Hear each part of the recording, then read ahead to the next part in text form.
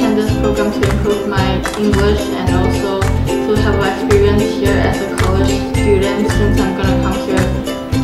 in my college year to have experience in in the States.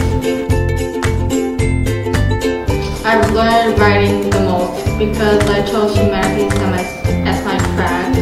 and writing is also an important subject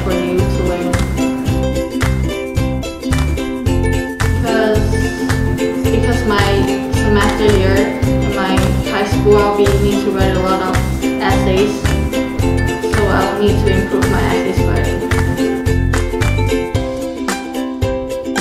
I think the American United States is really fun and enjoyable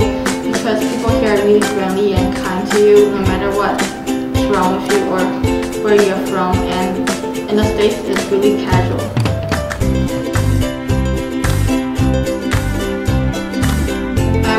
Taiwan so we speak all Chinese and in Taiwan you wouldn't be able to learn Chinese English if you are always being with Taiwanese people. So in that in the United States you learn a lot of new English and explore the United States. I like water rafting the most because you get to raft with your friends and have fun and being under the